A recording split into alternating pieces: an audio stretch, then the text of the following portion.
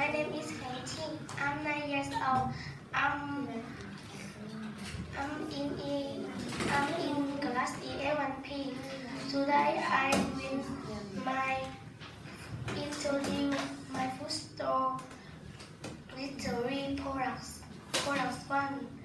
This is this is a chip. It's yellow. It's small. I like chip.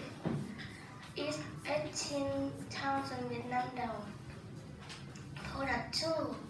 This is a hamburger. It's a brown, red, orange, and green. It's big. It's yummy. It's 400,000 Vietnam dong. Product three. This is a chicken. Orange and brown.